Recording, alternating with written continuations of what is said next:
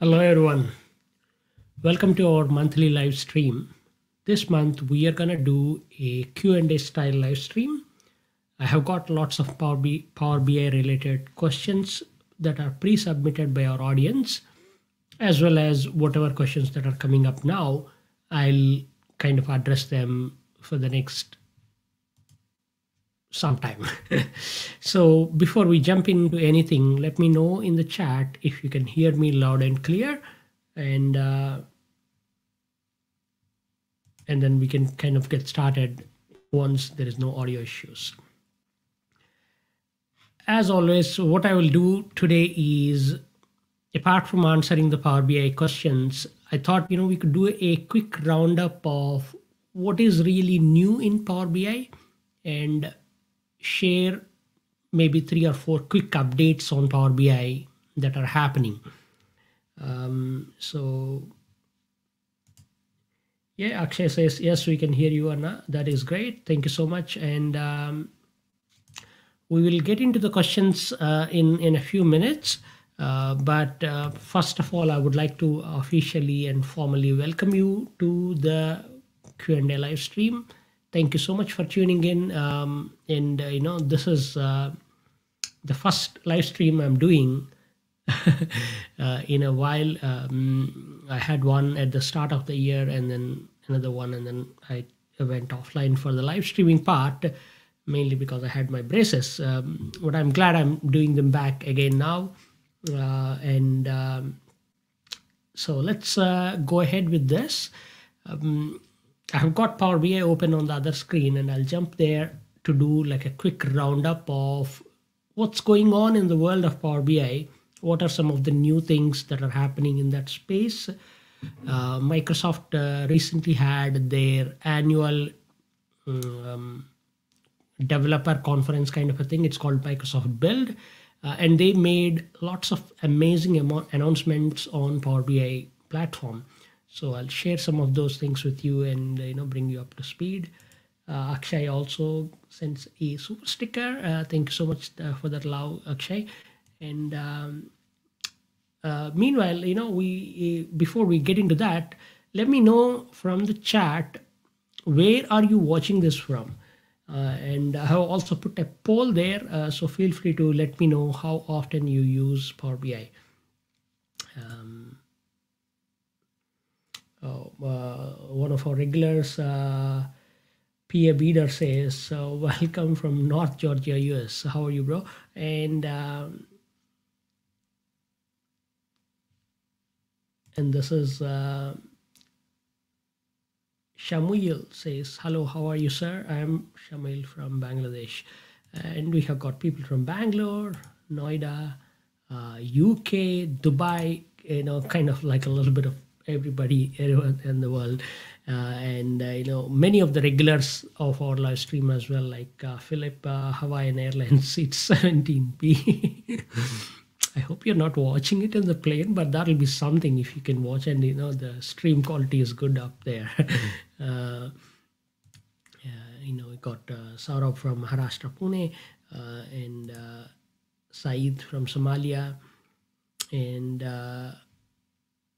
Janith from Vizag. Uh, is where I used to live. So, uh, hey, Janith, uh, I hope everything is all right there. And um, and Edwin from Philippines. I have never used Power BI. That is great to hear. Um, I'm gonna end the poll and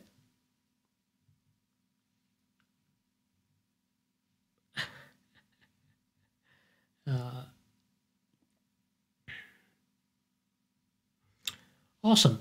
And um, keep the messages going. Uh, let me know what what is it that you're having. I just woke up. It's about um, 5 5 a.m. in New Zealand now, and I made myself a nice big cup cup of coffee, and uh, you know, looking forward to it. So the first thing that I would like to start by is kind of give you a little bit of what is going on in the Power BI space. Uh, the biggest announcement in the Power BI space in a in a long while has been announcement of a kind of like a consolidated data platform from Microsoft. It is called Fabric. And uh, what Fabric is, it's kind of like an amalgamation of various data related stuff that are individually offered prior to that. And Microsoft put everything under one umbrella and then said, you know, this is Fabric platform. So imagine you are using Power BI to do some data analysis work. Normally what happens is Power BI is for doing data analysis and visualization, reporting, that sort of stuff. But you can't just do that alone. It's not like an island where that happens. You need to have quality data maintained on a on a pla- in a place. So companies would have uh, some sort of a data warehouse or uh, a database or a data lake or something like that. And then while you are using Power BI, there will be other teams that will also use Power BI to uh, not not Power BI, but that data to do other stuff. Like they might be running some machine learning models on the same data. Uh, they might be doing some SQL based reporting and stuff like that on that data.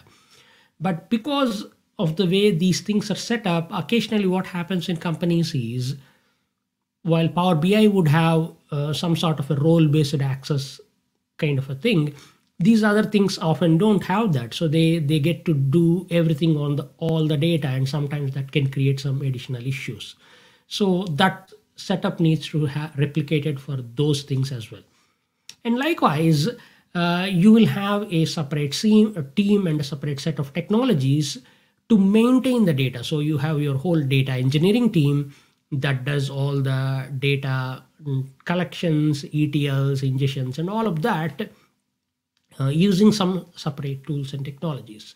So as you can see, what happens in a traditional business intelligence and data structures is you would have separate teams using separate set of tools um, occasionally duplicating the efforts and duplicating the storage, duplicating the calculations, and all sorts of things. So, this is where the fabric thing is kind of interesting uh, because it unifies all of these things uh, and introduces a single data layer underneath. Uh, it's called OneLake, where all your data is stored, both the data um, tables and, and databases and warehouse, as well as you know any any other stuff that you may want to keep there. Uh, so that's the one lake underneath, and then all these individual technologies lined up on the top uh, to do data engineering, data analytics, uh, machine learning, automation, all sorts of things on top. Um, in a way, you know, it kind of brings together lots of things that were there separately before, uh, and then kind of makes them all work together uh, and help you manage things in one place rather than multiple places. I have not personally tried Fabric yet because it's uh, still really new.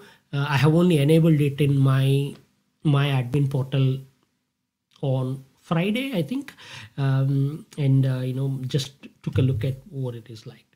But that's the biggest announcement uh, you might see on Twitter or LinkedIn. Lots of people talking about it. Mm, if you're curious, let me know in the chat, and I might be able to, um, you know, talk a little bit more about it in upcoming videos uh, as I experiment and use the technology. Uh, let's uh, um, let's take a look at uh, what is going on in the chat, uh, and um,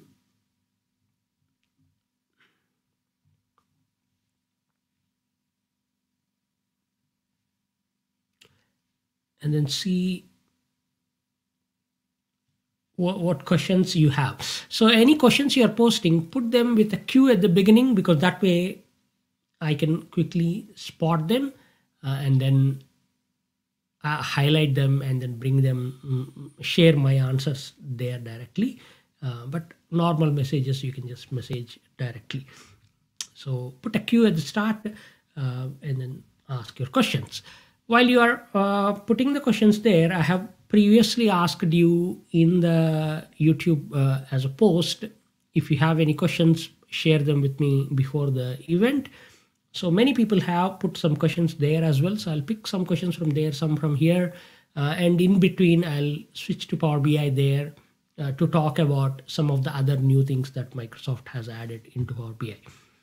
So um, let's see. Uh, one other thing that I want to highlight here is I may not know most of the answers. In fact, I probably wouldn't know many of the things that you're asking. So there is no guarantee that I'll get to your questions or there is no guarantee that I'll give you the best answer or the right answer all the time.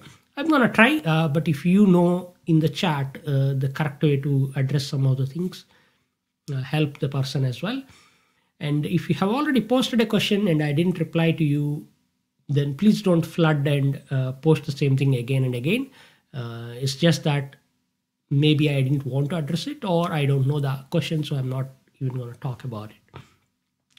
So um, let's see. Uh, this is from Satish. Uh, once we publish the report to Power BI service, which are the levels it should go through to reach the end user or stakeholder? Um, normally, you publish it, then it kind of goes and sits in the workspace where you are publishing to. Um, but it might be a good idea to let your audience know that this has been updated. Uh, there are many ways to do this. Uh, one is if it's an ongoing report, I think they can subscribe uh, to the report and Microsoft uh, would automatically email them saying, hey, there is a new version or whatever. Um, but alternatively, you could also let them know that this report is now available for you to watch. Um, it's like imagine you're using SharePoint in a team and somebody makes a change to a file. Uh, then how would you know they have changed it unless you are watching that file or unless you are have uh, they tag you into that file or something there is no way for you to know that that particular file has changed so same thing with power bi i guess uh, um, and i hope that is the question that you're asking like what levels it should go through before it re reaches the end user. Um, because it's technically not reaching them, it is staying in the workspace and it is for the uh, audience to see the thing. Um, Preet says, what is Copilot in Excel and Power BI? So Copilot is uh, kind of like a built-in assistant feature that they have added uh, that, that they are adding to these technologies like Power BI, Excel, and Word and Outlook and whatnot. Uh, it's kind of like a built-in ChatGPT kind of a thing that would only work within your your data and your setup. So it's not really, uh, I mean, unless you ask it explicitly, I don't know if, if it would go out to internet. Um, but for example, you could use Copilot within Power BI to ask, uh, hey, given this data, can you build me a report? And it would build you some sort of a basic report with typical things. Or you can ask it, hey, can you write the DAX for doing this particular thing? Uh, and uh, so far, it is kind of like in a closed demo thing. I have not seen it anywhere yet. Um, I feel like the Fabric Copilot they have done a lot of demos, but again, I'm not seeing it when I open Power BI anywhere. So, uh, and as far as Excel Copilot is, it is still in a closed demo. So only certain customers of Microsoft were given access to this and they're testing it. So there is a lot of marketing hype around it. But in the real world, the Copilot doesn't yet exist. Uh, correct me if I'm wrong, but I've not seen it anywhere uh, out in the wild. Uh, the closest way to think about Copilot is it's kind of like an enhanced help in Office, but the help will tell you how to do certain thing, whereas Copilot will actually do the stuff for you. It will create the formulas, it will create the DAX, it will create uh, graphs and whatnot, and show you everything there. Mm. All right, lots of questions there. Um, some of which I obviously don't know, so I don't want to highlight them and then uh, say that, oh, this is something that I don't know. Um,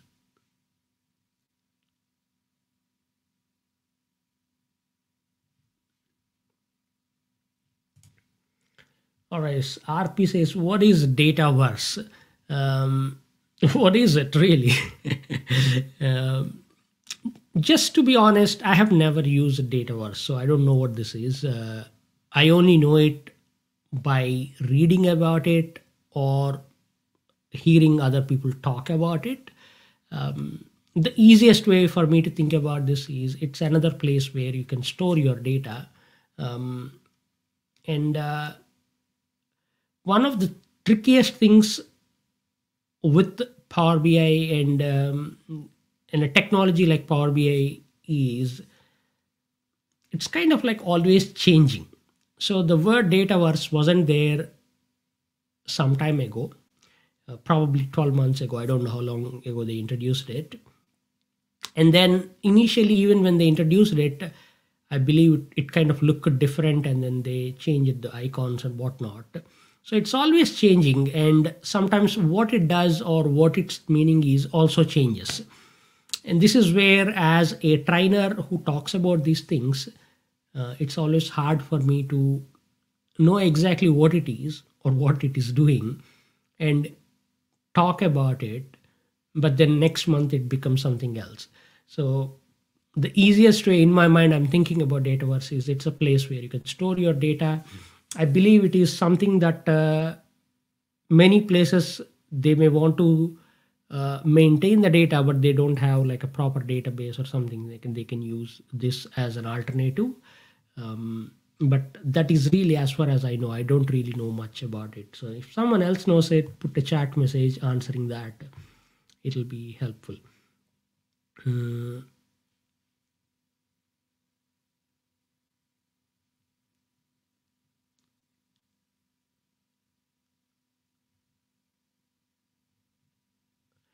all right uh, so there are some generic questions like that will be uh, just like the data, the Microsoft Fabric that encompasses the whole of data related stuff. Some of the questions are like they cut through a lot of things, uh, and I see these kind of questions all the time. Uh, so I'm going to address one or two of these, uh, but I'll get into more specific ones as well. Mm, so this is the one of those generic questions how to get a job as a data analyst, and then optional criteria being you're a fresher. But it couldn't be that you're a fresher, it could be how to get the job as a data analyst with some experience elsewhere as well. Um, this will not be the correct answer for everybody, but generally you can take out all these words and put any other words like how to get the job as a carpenter or how to get the job as prime minister or whatever else you want to do. Uh, the path is always more or less the same which is uh, obviously you need to get some skills so learn about the technology uh, and then you also need to understand the relevance of that job uh, and how it is helping the organization where you are going to work and and then make it so that you become an interesting proposition for them uh, to to hire. That's really at a nutshell. Uh, but if you break it down let's say you're a fresher you don't know much. My suggestion is while a lot of freshers get hired as a data analyst uh, it might be like if i am a if i am hiring for a data analyst I don't really want to right away get a data analyst uh, from a fresh person, like a fresh graduate, because they data analysis data analysis is not just about analysis; it's a lot about data, uh, and the knowledge about data comes from the knowledge about the business. So you need to have that kind of an experience, perspective, or a gut feel about about that industry before you can analyze the data. Otherwise, whatever you do becomes quite theoretical. Uh, so, and that is of less value. So, it might be a good idea to bring in somebody with some experience. It doesn't have to be data experience, it doesn't have to be technology experience, but some experience in the real world uh, so that they have seen things, they have observed what goes on, and then they can relate that to the technology when they're doing the analysis. Uh, this is why, personally, I would prefer somebody with a little bit of experience in any other field, if not in the data field, uh, for the data analyst job. But that's my preference. Uh, other companies, other recruiters might might have a different way of looking at it. So if you are a fresher, then obviously you wouldn't have any industry experience, any knowledge about business. Uh, so the only way you can make it work for you is you can show a lot of knowledge in the technology side. So you might say, I know all of these tools, I know how to do these things, I'm quite flexible, I can learn about everything else, but this is what I'm bringing. I'm bringing that fresh perspective, uh, can do kind of an attitude. Uh, I can uh, I can work hard, I can learn, and all of that. So that is really how you can make yourself. And when it comes to learning stuff, you know where the resources are. You have YouTube, you have uh, various courses, books, forums, platforms. So whatever works for you, pick some of those, learn, uh, and uh, you know make your technical side really strong. And if possible, go and work somewhere for a few years in in anything else because that is what you will be analyzing as a data analyst. A data analyst doesn't work in isolation. They have to know what happens in the business. So without that knowledge their outputs and insights become useless. Uh, so maybe getting other experiences might be helpful.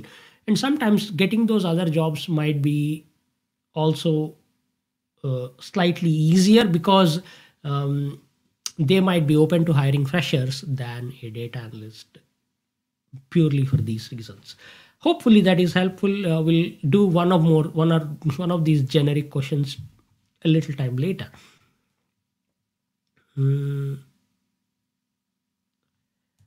Janith asks any changes in the code syntax this time?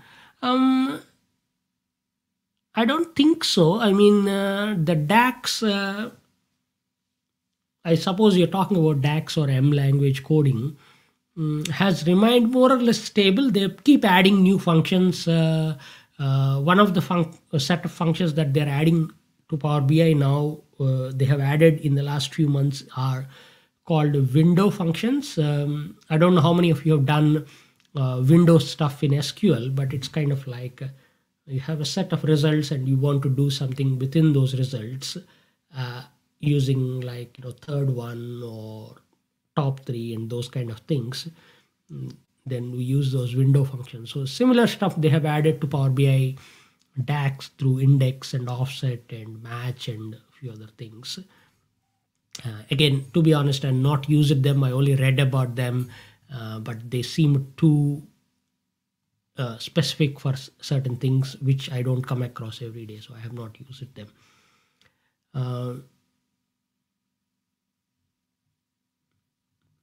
All right, uh, there are lots of questions here. I, I feel like uh, I may not get through everything, um, but uh, let's go through the next one.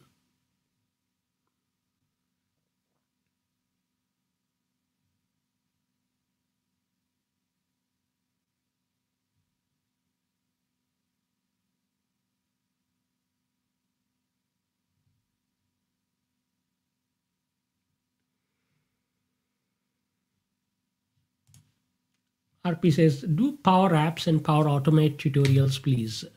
Thank you for that suggestion. Um, I do have one tutorial on Power Automate, uh, but it kind of talks a little bit about Office scripts and how everything works together. I plan to make more tutorials on Power Automate in the coming months. Mm, uh, I use the technology a little bit every day, uh, so it's something that I, I am comfortable talking about. I'll, I'll, I'll make videos on that. Um, how can you assign conditional formatting data bars on a matrix visual? I believe it is not implemented in Power BI. I think that's a good question. Um, we're going to switch to Power BI so we can kind of take a quick look at this and also do a demo of conditional formatting. So let me um, keep it like that and uh, share my screen.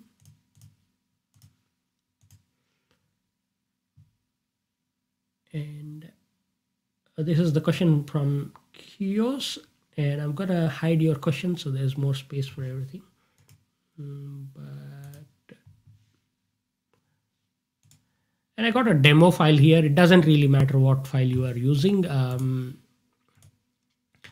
so before we even get into your question, uh, quickly, one of the key things that they have changed, uh, there are lots of other changes that come every month, uh, is uh, this new new area for visualizations. Uh, this is still, I think, on preview. Uh, sorry, it's a preview feature, so it doesn't get enabled unless you ask for it. but I have enabled it. so this is how you can now make a chart. It's not in the panel here; they're here.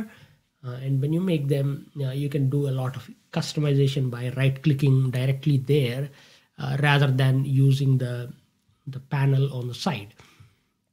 So let's make a matrix here. Uh, this is the one.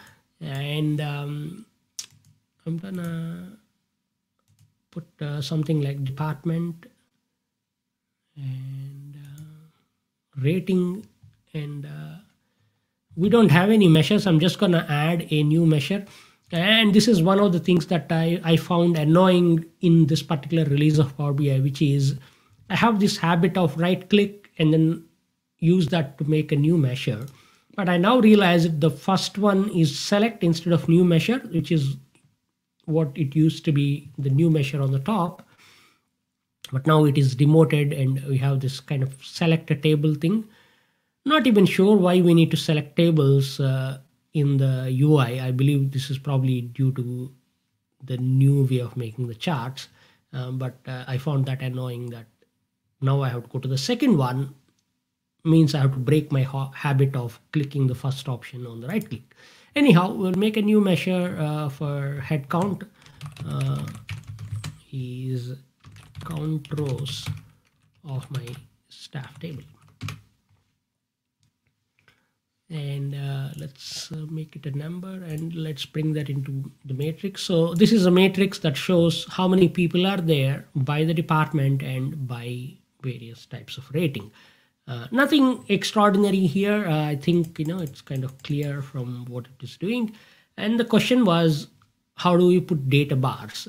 So uh, if you click on that options there, uh, sorry, right click on it and then go to conditional formatting. You have got data bars there uh, and they will show up. So not sure exactly where you got the impression that we couldn't do this on matrix. Uh, you can add data bars on the matrix um, directly. So give it a try again. Uh, probably you uh, you found it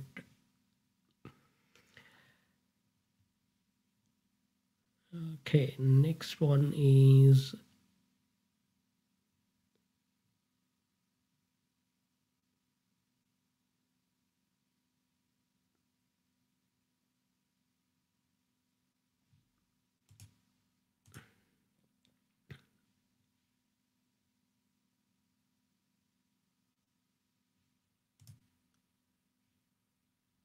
Sunita asks, is there any formula where there would be a variable which is the slicer basically? Please share if any. Um, I assume what you're talking about is called a parameter or a what if parameter. So if you go to the insert ribbon, um, oh sorry, in the modeling ribbon, you have got new parameter. This is exactly what uh, what you're really asking for. Let's say if I put this a numeric range, uh, test parameter then it goes from 0 to 20 and you create you will have that. You can just change this. Whatever this number is that will show up there and it will also be captured as a measure in your model. You can then use that to do whatever you need to do with that number. Uh, so it's called what if parameter. I have got a couple of videos on my channel that talk about uh, what if parameters and scenario based modeling within power bi uh, so check it out and uh, you know that'll give you more information on how this really can be used.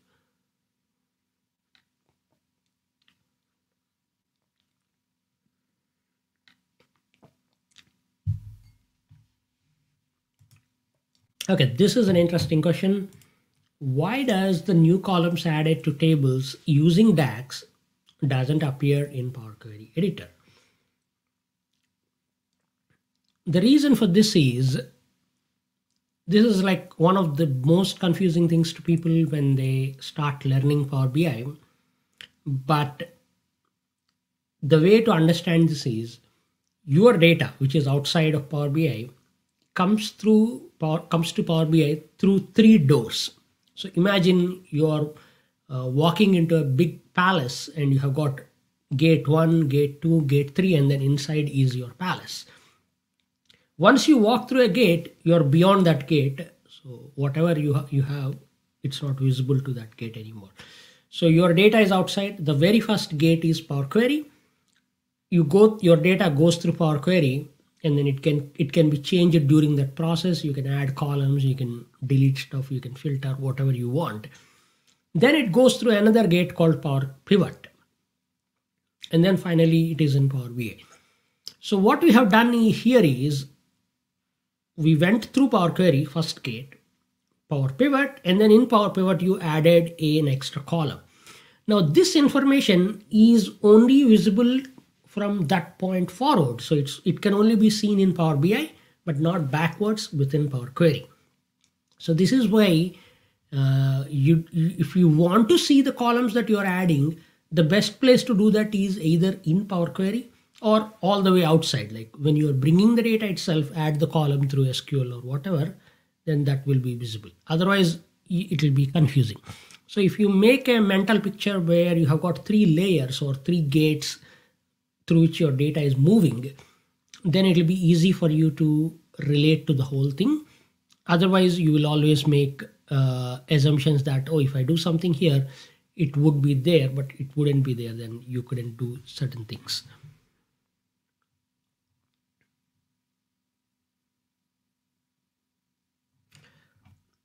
All right, lots of questions here. Uh, what I'm going to do is switch it up and go to the bottom again and then pick a few more.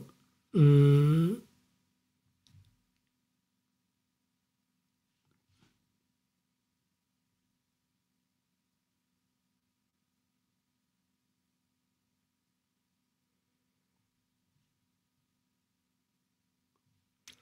And again, please a reminder that do not do not repeat your questions you asked the question once. I see that in the pile here. Don't add more questions like the same thing copy paste again and again. Uh, this makes you look like uh, you know somebody who doesn't understand the basic concept of courtesy or whatever. So please don't do that. Uh, you know i can't really help you if you repeat your questions.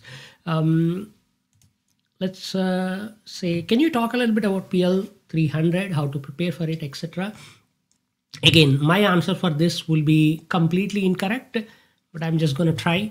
Um, I don't know anything about PL300. I have heard people taking it. Even my wife is planning to take it. So the other day we were talking and uh, you know about it and all of that. If you really want to learn about the exam, like what goes into it, what is the curriculum, and how to prepare for it, I believe Microsoft has an official learning guide that you can read through, understand what is tested, and complete the exam quite easily. If anybody has done this and got the certification, put a message in the chat and let us all know how it went and what are the things that you have done, what worked and what not. But here is my general opinion about PL300 or any other certification for that matter.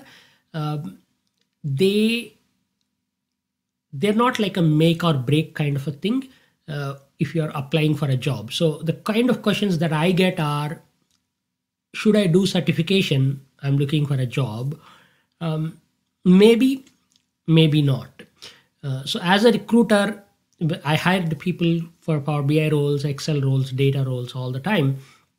And what I look for is not having the certifications, uh, but if I'm talking to somebody and they have done a certification, it's just a signal to me that they they have checked one of the boxes. That that's as much as I value it, and it kind of shows that maybe they have gone through something and they know stuff. But what I'm really more interested, especially when we are talking in an interview, either phone interview or um, online interview or whatever, is to really understand what is it that they have done with the technology, how they have used it. So if you are finding yourself that you have done a lot and then somehow you're still not able to crack the interviews, uh, having that certification might help you. But otherwise, it's it's not going to make or break your application in most cases that is generally the perspective for me again i could be wrong uh, there might be organizations and companies that are hiring people that have the pl300 certification or whatever else is the certification so yeah mm, but if anyone has done this certification let us know in the chat where how to prepare for it Um, Hanan asks, uh, thank you, Chandoo, for the wonderful tutorials. Uh, you're welcome, Hanan. And uh, how can we add a column in Power Query and make changes that will adhere to the record and not move as the data updates? Okay, so you are changing something within Power Query and then you want that change to remain even when you refresh and something in the source data changes. Uh, normally, the way Power Query works is it's a rule-based engine. You're writing, you're you're not really changing the data. You are actually telling how to change the data. So that's the difference. So you could say if this column is x, change it to y. That's the rule that you're saying. But if it is no longer x, then the rule can no longer be applied. So if your data after refresh it becomes z instead of x, then because your rule says x becomes y, but it doesn't say what to do with z, uh, z will remain as it is.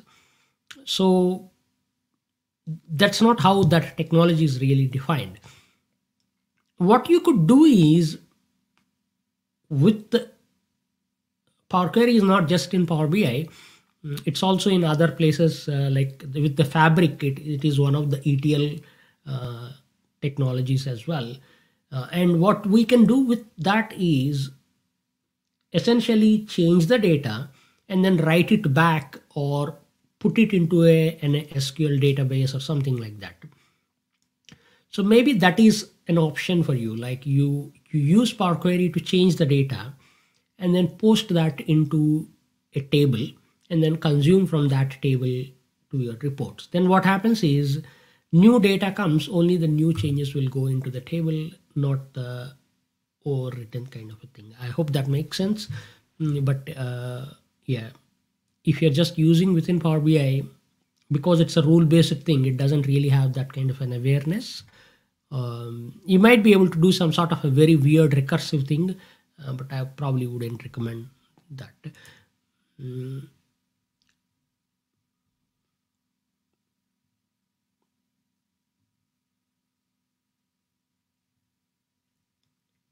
Okay here is uh, another question that kind of encompasses the entire thing is ai going to remove all the jobs uh, uh, or all the MIS jobs or all the data jobs, or is AI going to remove my job? I don't know. Uh, if uh, I mean, as long as you are asking this question to another human being, I think we, we are safe here.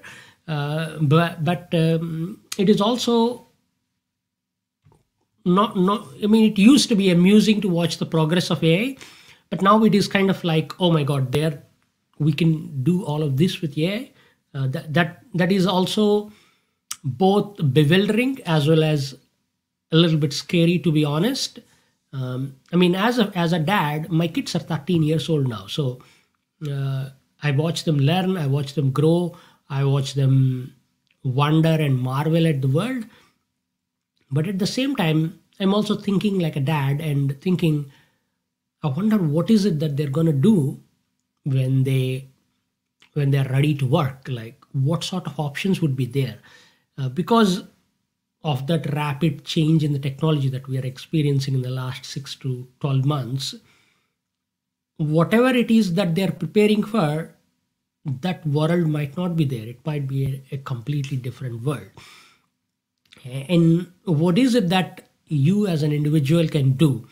Very little, to be honest. I mean, you can watch it, you can adopt, um, but we we are evolved to adopt things at a much much slower pace than than these kind of things. Like, I mean, it took us millions of years to stand upright.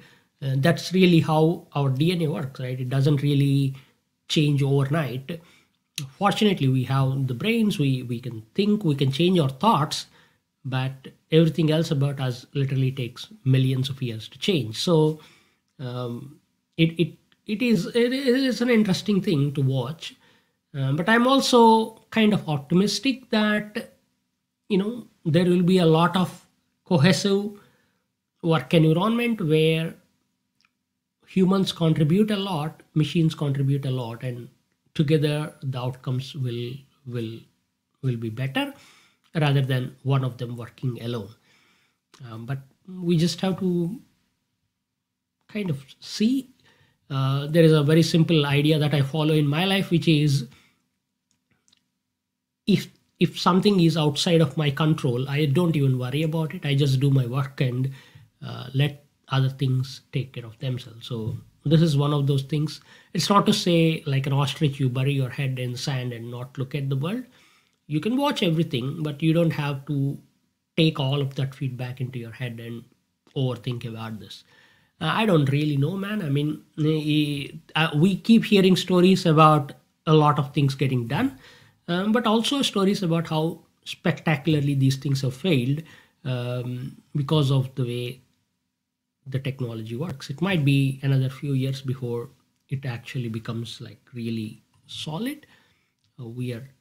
I'm also watching just like you, uh, but I'm I'm not really worried. I like to play with technology rather than uh, get swayed by it. Mm. Okay, so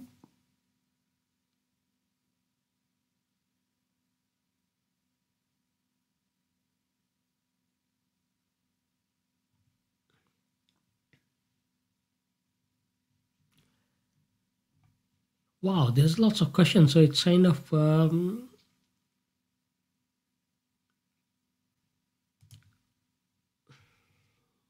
this question that uh, I think another question was like this as well how to use dax to calculate lead time order was placed at uh, 23 22 01 hours delivery time 0 0 21 25 hours lead time what is it mm. So one of the things that in the real world we think about is we know intuitively that 2 a.m comes after 11 p.m or whatever this is, right? Uh, but, and we also think when someone says it's 5 a.m., we naturally know that 5 a.m. today. But computers don't have that concept of time or date alone. They they're always together. So time is attached to date. That's how at least Excel and Power BI DAX level stuff works. Power Query, on the other hand, has a better handle on the time. So you can actually keep times separate and maintain them. So in your case, the problem is because you, you you're going over the midnight and going into the next day, the calculations will be a little bit uh, kind of not complicated, but they'll look a little bit funny if you just subtract. What I recommend in in situations like this is instead of doing the calculation in DAX, do it in Power Query first, calculate lead time as a column, and then if the lead time is negative, add one to it so that it fixes and uh, gives you the correct lead time. And once that lead time is there, then use that lead time column in your DAX to calculate average lead time or uh, distribution of lead times or whatever. So that might be a lot better than uh, doing it uh, within the DAX simply because Power Query has an exclusive date data type, time data type, duration data type, and it works a lot better with these kind of things.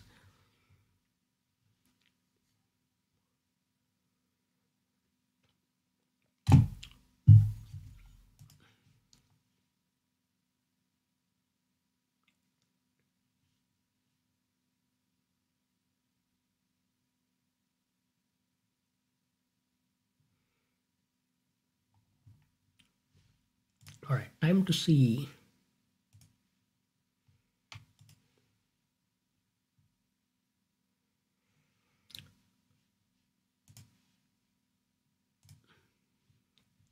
Okay, let's do another demo. There are some other questions, but I thought uh, I would like to show you what else is new within Power BI uh, as a, a, thing as well, so that you know you're not missing out on some of the cool things that they are available now available to us.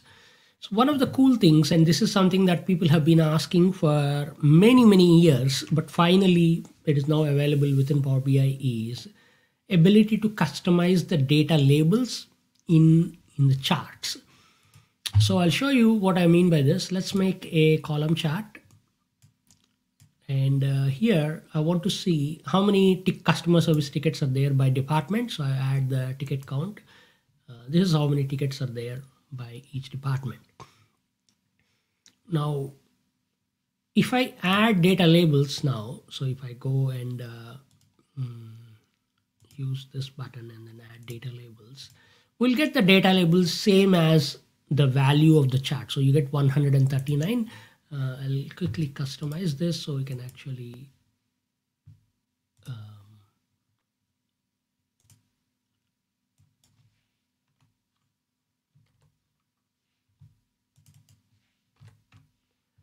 All right, yeah. So you can see that 139 is the number of tickets for website. This is all previously available. But one of the things that people have been asking for many years is, I don't want to just see 139. I want to see something else as well. Like, mm, you know, I want to see what, how many of 139 are high priority tickets. I don't want to plot that in the graph. I want to just have that as an extra label added there. So these are called, uh, you know, values from um, another another measure as the data label or measure driven data labels or whatever you want to call that. Um, that's what it is. So finally, Microsoft added that particular feature. Now, if you have got any other measure, you can put that measure as a label. Uh, so here in the model, I have got a measure called high priority uh, ticket percentage, which is uh, calculate ticket count where ticket priority is 5 and divide that with the ticket count to get uh, the percentage of high priority tickets. And now I want to add that as a percentage to the label. So all I have to do is go here uh, and um, sorry, mm, you know, format and um, and from this there so here you can see that it's called custom label as an option now. And if I enable that I can add data uh, and I can bring in any other um, measure or column whatever I want I can bring that. And that will be the label. Obviously you don't want to confuse your audience with just putting that. If you're doing this you need to explain to them that you're using a different thing as the label. Otherwise it will uh, mislead them. Like why is 14 more than 17 uh, but that's because this is the total number of tickets and the label shows what percentage of that is high priority tickets.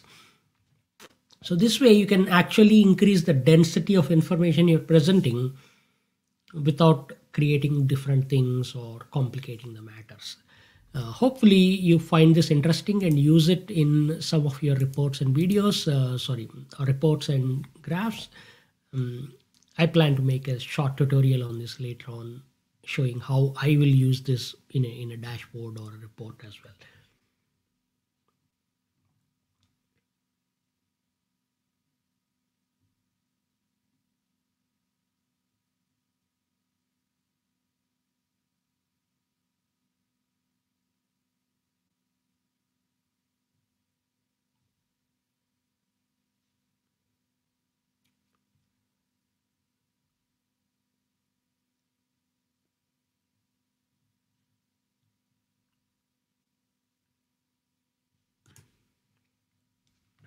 Uh, Koima Okoli asks, I hope I didn't butcher your name there.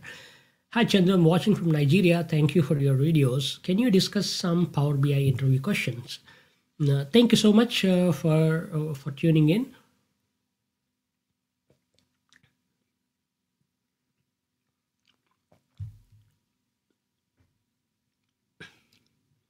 So I've been thinking about this particular topic, like interview questions, uh, for a while now, and uh,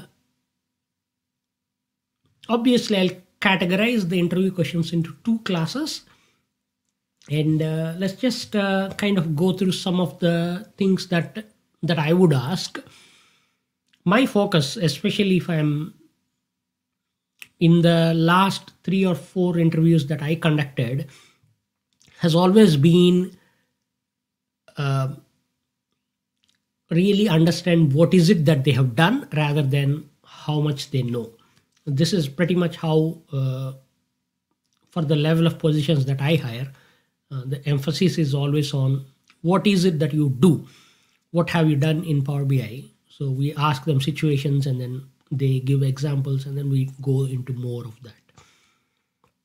But let's just say uh, you you already know how to answer those questions. Because you've done that you know how to answer them so there is nothing mysterious there.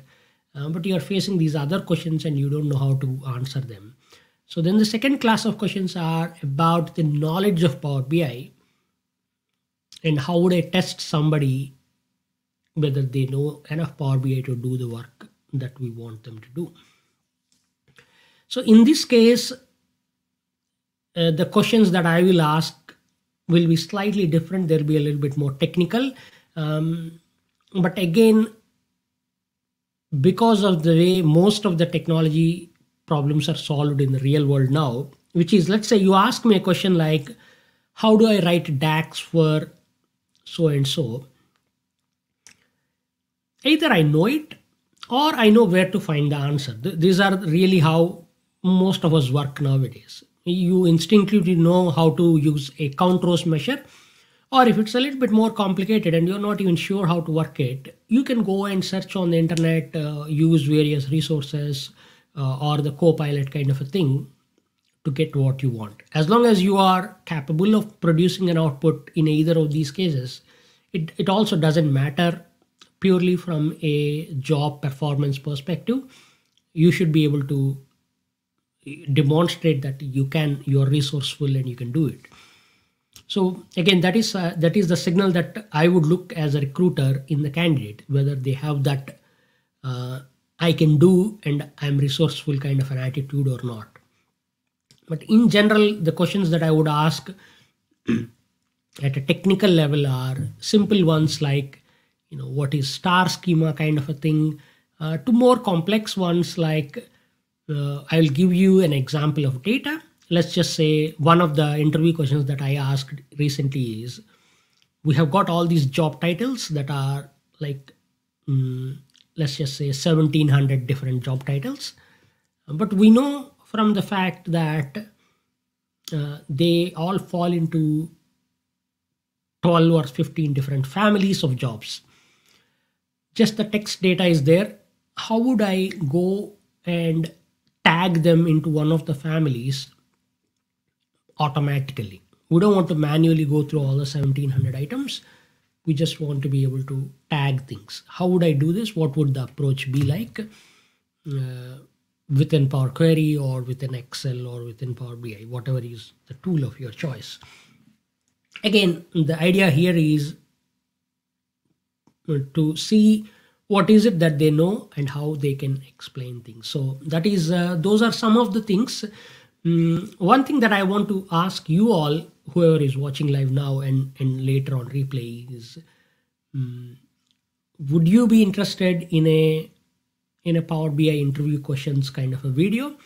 Uh, and if so what things you would like to see there? What are some of the questions that you want me to answer and explain there?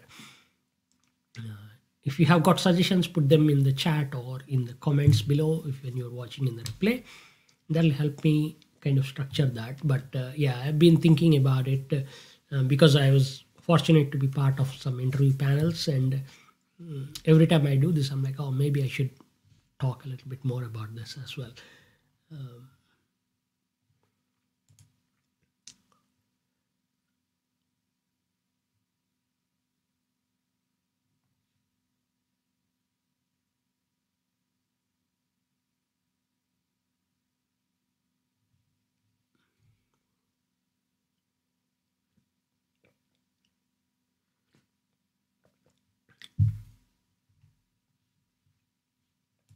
All right, we had a follow-up thing from Kios um, about the data bars thing. You remember um, this one we we had here. The issue is the data bars are calculated based on the max of the series and not max of the column total. Um, that is the default behavior. What you can do is, um, I'm just gonna take out that what you can do is instead of um, I'm just gonna test out something and then I'll explain rather than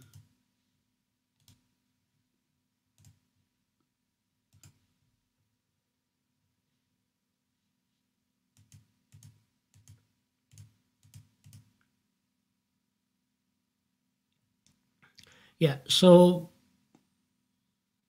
Unfortunately, I think that is how it works because the data bar is tied to the cell value. So whatever is the value there, that's how much it will be. And then the scaling also is kind of like that. Um, I get what you mean, which is I want to see these 2323 as like a bar against this cell so 3 will be the highest and 2 will be small. And then when the, when we go to this column it will have its own scaling and like that. Um, yeah i don't think that is possible or at least i'm not able to figure it out quickly. We can calculate a measure of 2 as a percentage of the highest value in the column and then plot that uh, print that value there.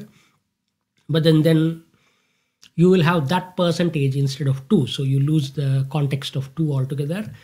Uh, you might be able to reintroduce that as a different column in the matrix but then that will make the matrix a little bit ugly with duplicate columns and whatnot. So uh, i don't think that is desirable. Yeah.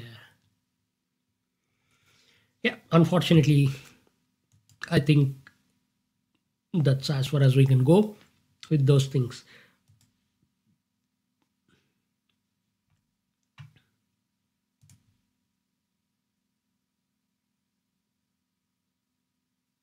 Uh, Lucky asks, Hi Chandoo, I live in Illinois and was wondering how the market opening is for Power BI developers with a couple of years experience.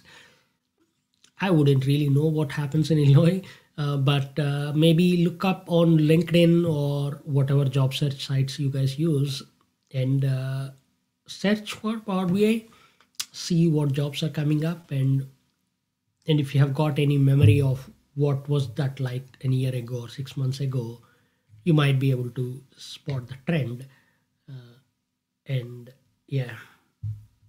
I mean in general the technology power bi has been growing quite rapidly in terms of adaptation. So i would expect that if anything more companies would be looking for power bi people now than four five years ago. But it, there might be a lot of other things at play like the general economy and you know what's going on with companies and how much money they have for hiring and all of that. Manisha says, Hi Chandra, I would like to learn more about DAX. For some reason, I feel overwhelmed when I see those lengthy DAX formulas. How can we make them simple to understand? Mm, that is a good one. I think uh, obviously I would be scared if I am starting how to learn uh, writing DAX today and then I see a really big DAX formula in my first week. I'll be like, oh my God, what is going on here? In fact, this happened many times in my life. Like when I first started learning SQL, I knew a little bit. And then after college, I started working. And one of the first projects that I was put into, we had like an existing uh, Salesforce automation system, and uh, and I am asked to build some reports on it. So I asked them, so what do you want here? And they said, yeah, here is uh, all the queries that we are running. We want you to figure out how to do this uh, with this new thing, and and then and those queries are like really this big. In college, you learn about SQL with like simple stuff, and then this query is like, you, if you print it, it'll be two pages long. what is going on here? Why why is there so many things going on?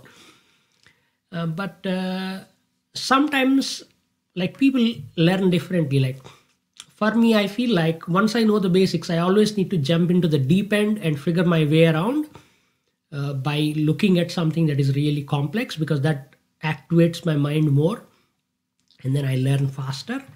Uh, but if you are somebody who's overwhelmed when you are at the deep end uh, it's the clue that you shouldn't be there. So get out look at simple ones first build your foundation stronger and then always test the depth.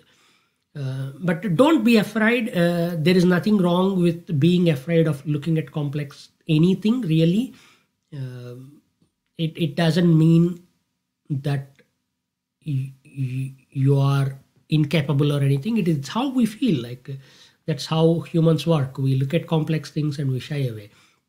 But don't let that uh, that fear intimidate you.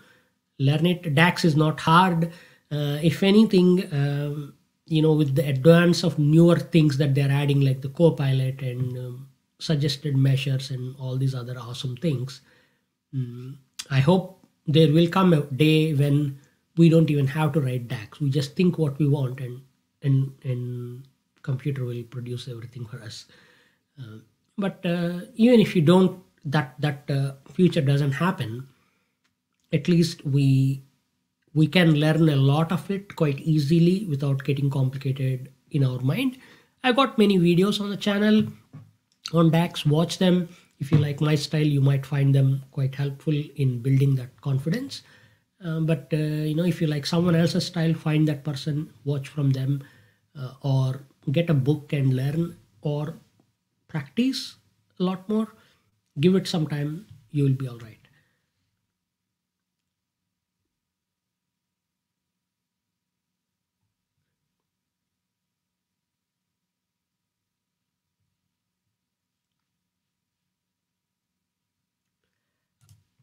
Mahmoud says, uh, Mahmoud from Saudi Arabia, can we load data from Excel table to database? Yes, you can load it as long as there is a way for you to go with that. Uh, for example, if you, um, the simplest thing would be like save the Excel file and then go to your SQL console or whatever uh, and see if there is an option to import table uh, most of them would support CSV or Excel formats. You can just import. But uh, um, on a more automated route where you have got Excel data and you want to constantly load that whatever is added into SQL, you can either use VBA or probably Power Automate. I've not done that bit with Power Automate, but I believe they might have like some connector uh, which can connect to a SQL database and and execute the update or insert instructions there. As long as you have the right permissions and everything is properly set up uh, that is possible. Another option is uh, with the the kind of like the new fabric thing they're adding more output points for your power query. So rather than loading the data from Power Query to Excel or Power BI, you can now load the data into a SQL database or uh, something else directly. So that those options are now also available. So give them a try. You might find something that works. Mahesh says, uh, Namaste Chandoo. Thank you for your videos. We appreciated your efforts. Thank you so much, Mahesh, uh, for that lovely uh, comment and gesture. Really appreciate it. Akshay says, can you suggest some of the best projects to do in gaining intermediate to advanced knowledge on DAX functions? So this kind of falls back onto the previous question on DAX, like how do I learn? I'm feeling overwhelmed with that. Uh, and then this is, can you suggest some projects? Um, sure. I mean, the easiest would be pick up some solid sample data. I don't mean like go and get a millions of rows because with that, what happens is when you're learning, a lot of what you learn needs to have a feedback loop. Like you're doing something, you get the feedback that yes, the result is right or the result is wrong. And to verify that, you need to have manageable data. If you have like few thousand rows, you can always manually add stuff up in Excel or something and then see, oh, the total in Excel is 4 million, whereas my DAX says it is 6 million. Something is wrong. Whereas if you have got like 20 million rows, test data, then it becomes really hard to maintain that feedback loop in your initial stages. So find some data that is complex enough, not but not too complicated. And then and then what you can do is ask some business questions on the data. So what is intermediate or advanced DAX for you could be like elementary DAX for somebody else and vice versa, depending on which business they're in. Uh, like few years ago, I was doing a session for the Ministry of Education in in Sydney, uh, New South Wales, Australia. And then during the session, I presented how to do Power BI to them, and they were all quite happy. But at the end of the day, uh, one guy walks up to me and then says, Hey, we got this data, and I'm already doing this, but I got stuck here. Can you help me? And I looked at their DAX and I didn't understand half of it because you know they were doing lots of advanced things, quite a quite a lot of different functions that I rarely use, uh, and uh, the formulas are quite long, and you know they're doing something, and the model is also quite big. But for them, that is the day-to-day stuff. So they're already doing a lot of that uh, in in a very advanced thing. But someone outsider, for me, it looks like this is complex. But for them, that is like, oh, this is just basic stuff. But this is the advanced bit that we got stuck on. Uh, I was able to help them, but the point being that there is no one advanced for everybody. Like for you, calculate could be advanced, but someone else, it's like uh, I just have to use it every day. So that's not the thing that I'm worried about. So the best way once you find the data is go and ask the business questions and then figure out what DAX is needed to answer them and add more questions or conditions to the questions as you learn or grow. Uh, a simple thing is like, if we take the awesome chocolates example, which is a sample data that I have on my channel, you can find it in many videos and in uh, in places. The questions that I would start by asking are the simple ones like what is the total sales, how many boxes of chocolate we are selling, uh, how many shipments we made. And then next level is what is the sale per box, uh, which countries are making more sales per box kind of a thing. And then more questions, more conditions to it. Like for example, um, which month had the best sale for each product now this requires not just understanding the simple DAX functions like max or min, but also applying them over a context of the product's dimension or month dimension or whatever uh, to get the relevant month name and then using the iterator functions and all of that. And then you can add one more layer like, you know, what is the current value of the sale of that product as against the best month it had? You know what percentage it is or you know those kind of things you can keep adding. At some point they become so theoretical that nobody in the real world would ask those questions. So you need to always put that litmus test of is this a question that i'm asking just for the sake of learning dax or is this a question that in the real world people ask and if they ask that as a sensible data analyst would i answer it or would i go back to them and ask them hey, have you considered trying these other things to get the answer? uh, because that is really what you should be thinking about not writing dax all the time but also thinking what is it that my business want and how can i help them most uh, so yeah mm, uh, there a bit of a long answer but hopefully that gave you some idea of mm, the relevance of dax. This is actually the reason why most people when they try to learn dax and they see these complex examples it all confuses them and they'll be like oh do i need to know how to use that or this? You don't have to uh, all the time but when you have to you will end up learning them anyway. So uh, you don't have to start there every day. You just understand and figure out how to ask the right questions and how to use what you know to help people because then slowly you will gain confidence and you'll be able to build more complex things. Um, okay this is an interesting one. Power bi versus tableau which is better? Thanks. Uh, i don't want to start a war or anything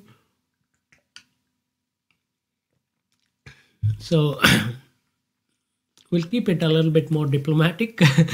It all depends um, if you are learning my suggestion is learn both. Don't you don't have to play favors to anybody. Um, neither microsoft nor salesforce is paying you to learn one technology. So why not learn both? Uh, that's the best answer.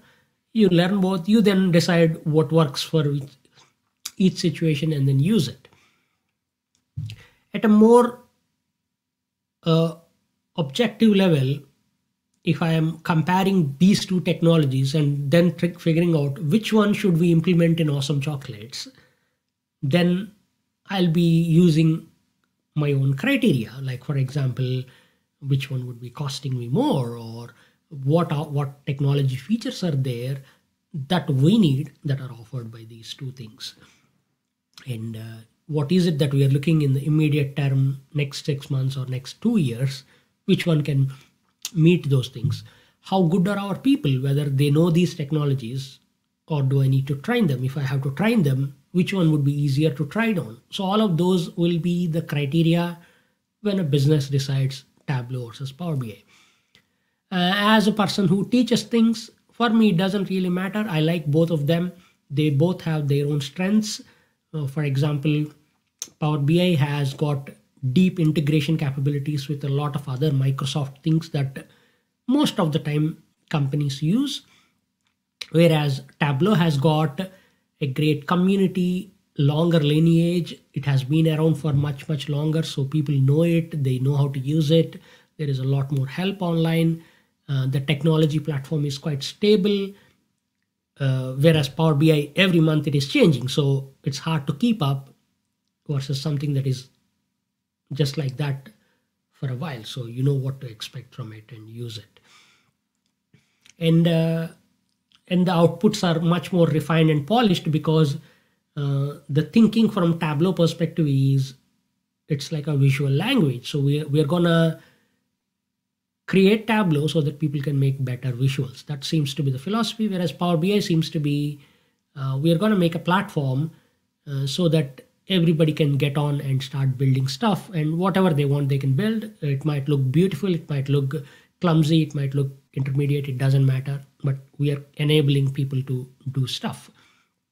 So those are some of the things. You might disagree with some of my points of view and that is totally fine because this is an opinion right? So all of us are entitled to have an opinion. It doesn't matter. I do have videos on both and i plan to make couple more videos on Tableau because I'm learning, relearning it over the last one year. Uh, and as I grow, I'll make videos on Tableau, but Power BI, I've been talking about it for a while.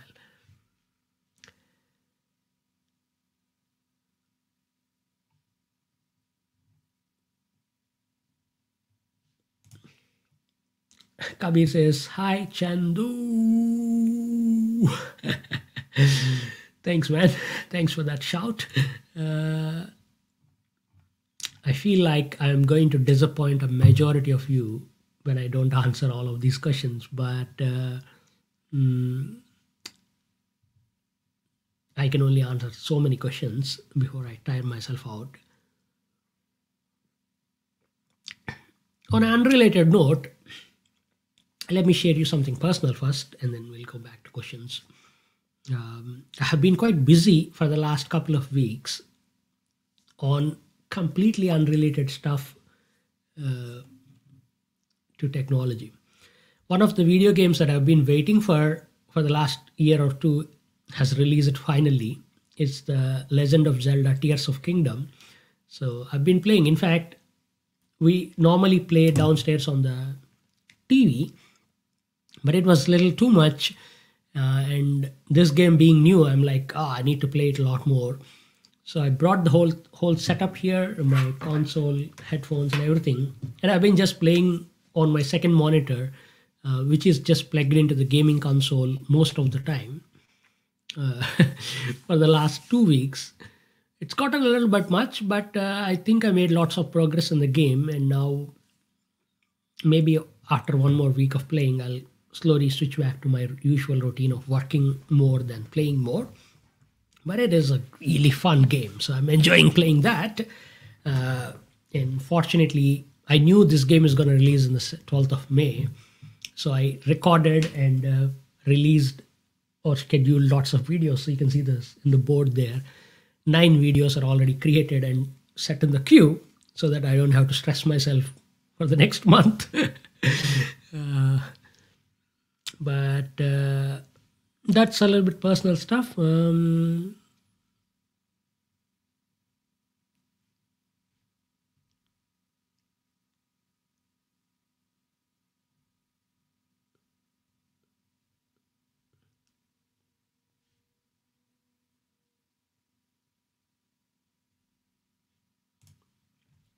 Okay, Utkarsh asks this, and I think this is a question that a lot of people ask again, which is you have a lot of videos. What is the sequence in which we should watch them? I wish uh, it is a simple answer. There is a simple answer to these kind of things. I have got playlists that will give you most of the stuff in a way. But when I make YouTube videos, I'm not really thinking people should watch this video after that video. That's not how I produce. And I'm pretty sure most creators are not really producing like that either. There might be some people who will think like that, uh, but it is not really uh, how YouTube works. Uh, the, the way YouTube as a platform works is each video has its own merits and its own thing. It's it's an island in itself, uh, and it's in no way connected to anything else on your channel. Uh, and that's how they are they are uh, they are put out in the in the in in front of audience as well. So for this reason, for me to work best with YouTube platform and and help more people, I also need to think about content like every video is on its own i don't want to make this video somehow connect to that video and then another video because if i do that that's just not going to work at all like nobody will come across those videos because every week i make a video but most of you may not even see some of the newer videos that i publish because of the way youtube works youtube algorithm decides that oh you as Mr. X is right now interested in this topic. So we are going to show you those videos, not the videos from your subscription. So uh, in a way, it'll be like, you know, a tree falls in the forest. Nobody hears, did it really fall? So the same thing happens to these videos. If, if you make it like a series, the seventh video in the series, nobody sees that and hence it doesn't exist. So then people come back and ask, where is that? It has been there for so much time, but no one has seen it. Anyhow, that, that is the platform limitation, not in creator limitation. But for me, the second problem with creating like that is it means I would need to be thinking about this for the last 13 years, how long I have maintained my channel. But that's not how people work, right? Uh, over the time, I might learn something new, I'll make a video about it.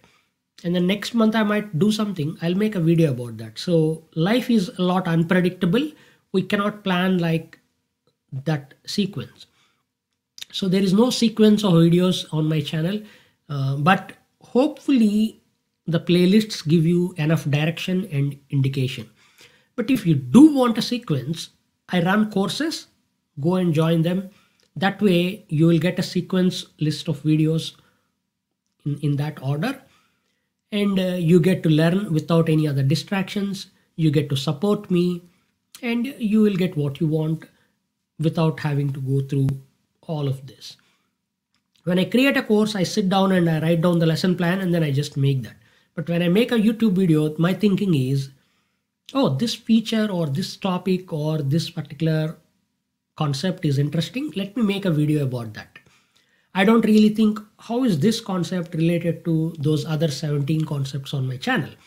It's not relevant at all. I just think about that as alone. And for that reason, there is no sequence of videos. Uh, hopefully that is helpful. I run courses on Excel and Power BI separately. Check them out. Many people buy these courses every month. They, they get helped a lot. They learn what they want and get more out of their work through these tools. So if you want to learn and you're thinking, I need a structured plan, I, I want something without any distractions, I want all the sample files, I want completed workbooks, I want uh, clear tips and step-by-step -step instructions and all of that, courses will definitely help you. Um,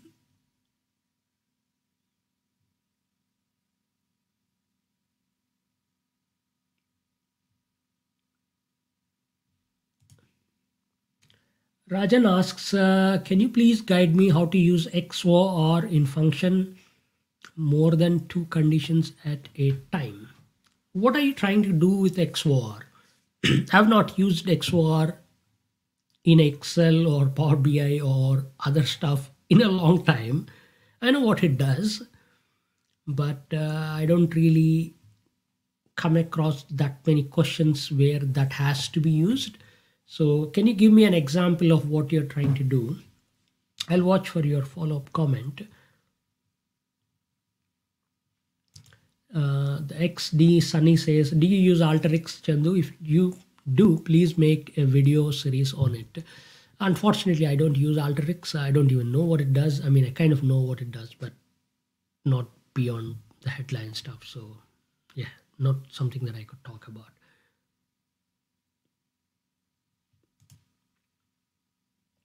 Utkarsh says, please visit India. All your viewers are going to welcome you.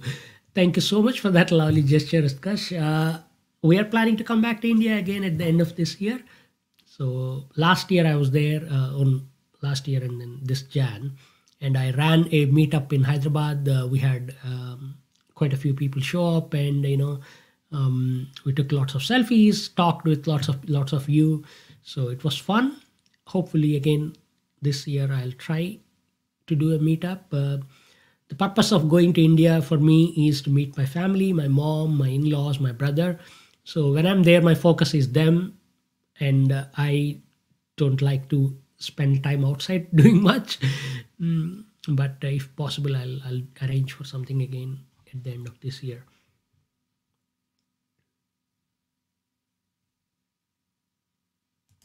Matt says, Thank you for the live stream and many great posts over the year. Thank you so much, Matt, for that lovely comment. And uh, thank you so much for all your comments, all your love and appreciation all this time.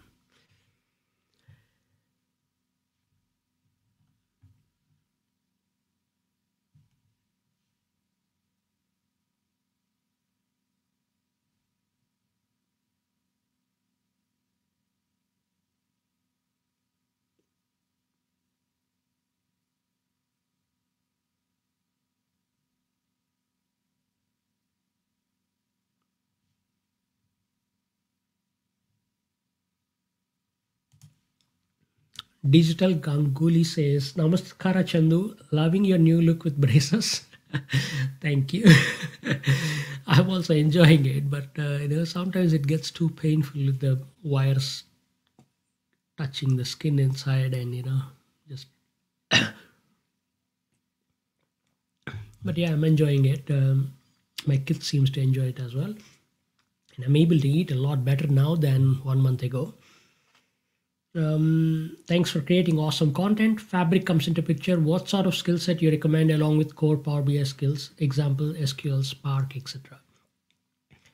I think, um, especially if you think you know you will be in the data world for the next few years or next decade or for the rest of your life, it's it's always a good idea to learn new things in the data platforms and expand your knowledge and then figure out how these new things connect with what you already know.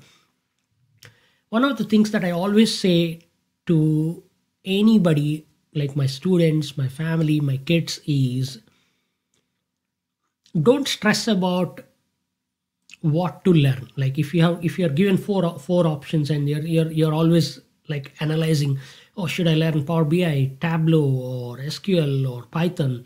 Oh, this is better than that but that is used here. And, and you know you are doing that it's not productive at all. It's not helping you it's not helping anyone. Instead you know just pick one it doesn't matter what it is or pick one whatever you need to immediately use. Just learn that. So let's say you start you know power bi then you're left with the other three.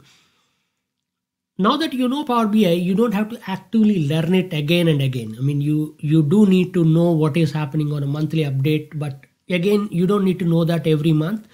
Once a six months, you can just catch up and then see, oh, this is new. I'm going to use that, and that's pretty much it. So once you finish learning something, you have all this extra free time that you can use uh, to either have fun in your life, like pick up a new hobby or spend time with your family or do something or maybe take a little bit of that time and then focus on other things. So once you learn something you don't have to learn it again. You learn use the time to learn other things. So instead of analyzing and comparing we now know four technologies after the first two years of learning. So that's how it works. Uh, like you said you already know this. What else can we learn? Uh, my suggestion is maybe pick SQL. SQL seems to be here to stay. Uh, like I, I, I just can't believe I learned SQL the very first time in 1996 or 97. And I thought by 1999, I thought, oh, this is it. I don't have to use SQL again. Fast forward to 2002 and 3. Again in college, I was learning that then I thought, okay, this is it. I, I'm going to join as a software developer. I don't need to use database stuff anymore. Six months into the job, I'm forced to do all these reports, again, learn SQL. And then I did my management degree, worked as a business analyst. I thought, okay, no more SQL for me. Uh, as a business analyst, I never really did any coding, but I had to know limitations or possibilities of SQL when I write proposals and all of that. And then I started my business on Excel. So I was like, okay, this is it. I have no more SQL for me. I can delete all those SQL stuff from my mind. And then we moved to New Zealand, 2016. And then I get my first consulting opportunity here for the government agency. And the very first day, I was given this 20 page query and then said, this is what we are using. Again, SQL. So 2016 to 2023, I'm using SQL pretty much every week now. So yeah, SQL could be a good way to enhance your knowledge. And if you if you enjoy doing technical stuff and talking to computers, maybe learn coding. Coding is a lot of fun. It uh, it it kind of rewires your mind into thinking about possibilities, and it's it's fun to learn. If you have got kids, you know it's fun to learn with them uh, build stuff on computer just for fun or for amusement or you know doing stuff so yeah those are some of the things that i would definitely pick uh, and then see which way the wind blows and pick up whatever technologies along way and then add them to a pile of things and then slowly work through that as you as you progress through life all the best mm.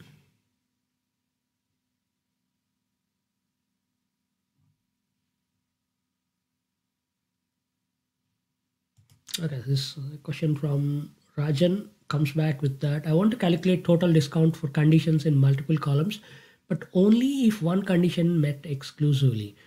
Discounts given to customer if he had said yes only to one offer out of three plus. Um, okay. I mean, ideally, if I am doing this, what I would do is if I'm saying exclusively one out of three or four or five, um, let's uh, jump to my screen.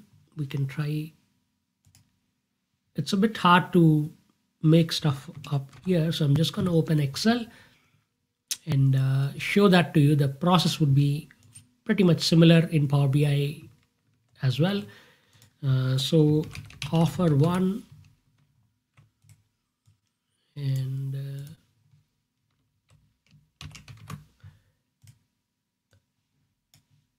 uh, all right. So we'll make a random array of uh, 10 by 5 and then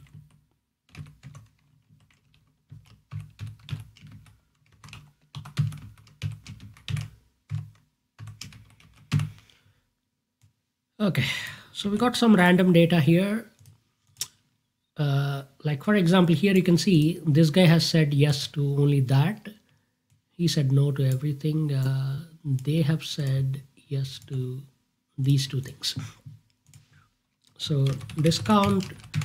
Now if i'm doing this I, I, the easiest thing for me to do would be just to see how many yeses are there. And if the number of yeses is one then we are getting a discount. Else no. Uh, we don't need to use XOR um, because it can get a little bit clumsy like that in Excel I would use countifs I'll just count number of S's and uh, and write an if condition there. If this is equal to 1, uh, discount no soup. So we'll know where that is happening and who else is not getting the discount. That's really the easiest way. Like if I'm doing this in Power BI, obviously we can't use countifs uh, we would then use um, if it's like a finite number of things i could make a a conditional column or whatever or, or write a condition in power query that simply checks how many yeses are there but if i have got like 25 offers then the condition will become too much then what i'll do is i'll unpivot this first and then i'll um, I'll then create a group table that has yes and no, and then just filter out the S rows and then see how many counts are there. And based on that, I'll decide the discount. Uh, hope that makes sense. Uh, it's like you can see I'm not using XOR at all. Um, but if you want, you can use XOR. Uh, it's not really meant when you have multiple things and I'm not even sure exactly how it works. So let's read the help to see what happens when you have multiple conditions, uh, more than two. Because with two, it will be uh, only if one is true, then it will be true.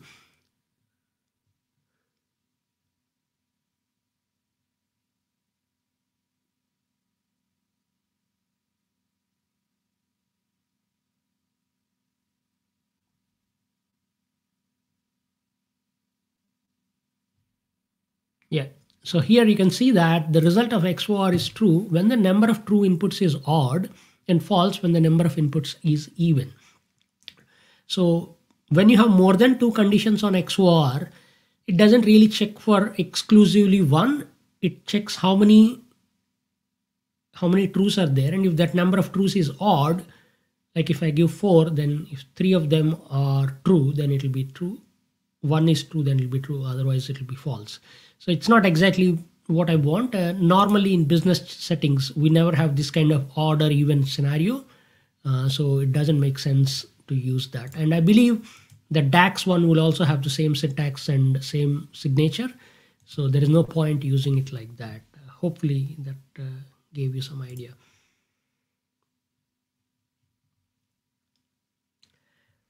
All right. Um, it's about an hour and a half into this, so I hope uh, you enjoyed this Q and A session and uh, and a little bit of demo and explanation and all of that. I know I haven't been able to get to a lot of questions, but I was able to answer many of them, so I'm happy with the way this went, and uh, I hope you enjoyed this live. Next month we'll do another live stream where uh, we're gonna do some sort of a actual technology stuff rather than Q and A kind of a thing. Um, but I wanted to try the Q&A for a while because there's lots of small, small questions that keep coming up. And I'm like, um, I don't want to answer them as part of something else. So this was an opportunity. It was good to meet you all and uh, help you out as well as hear from you and get to know you a little bit more and and have all of these lovely thoughts and messages. So thank you so much for watching and I'll catch you again somewhere else. Uh, there's a few more messages, but uh, um,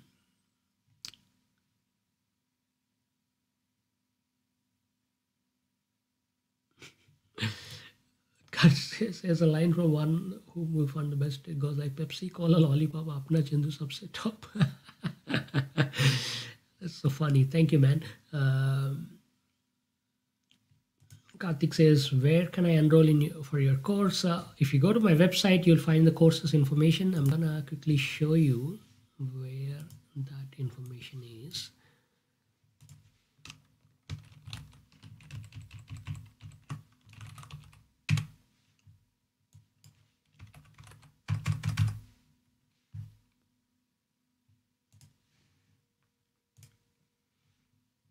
So this is a program called Power BI Playdate. Uh, if you go to the Power BI course page, you're gonna find that. And uh, yeah, check out the um, coverage. It kind of covers pretty much everything within Power BI, like Power Query, Power Pivot, DAX, uh, M coding, you know, visual design, report design, dashboard design, everything uh, in one place. And uh, people really love this course so if you want sign up. Uh, i also have an excel course that you can bundle with this and uh, pay in one go either in dollars or us rupees whatever you prefer. And uh, yeah sign up for that. Uh, so that information is on my website but i'll put a link to that in the chat as well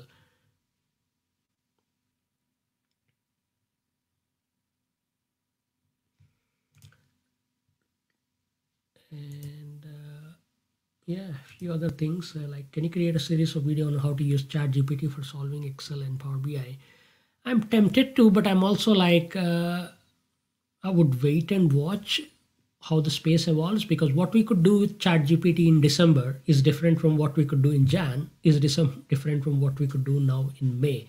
Uh, that technology is changing so fast that um, there is a lot more hype around it rather than what is really possible. I mean uh, so I, I, don't want to add stuff to it just for the sake of getting some views. So maybe i'll i'll add but um, i mean nothing wrong with getting views. It's just i feel like uh, it's it's a little like unstable. So i want to wait for the thing to mature before i could do uh, produce some videos and explain how we can work with that better.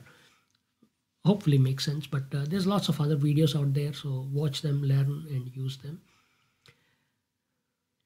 All right thank you so much. Uh, my coffee is nearly over and uh, it's 6.40 now so i'll wrap this up and um, enjoy my weekend. I wish you all a fun weekend and uh, we'll catch you again somewhere else. Uh, there'll be regular videos on the channel and uh, a live stream at the end of the month as well.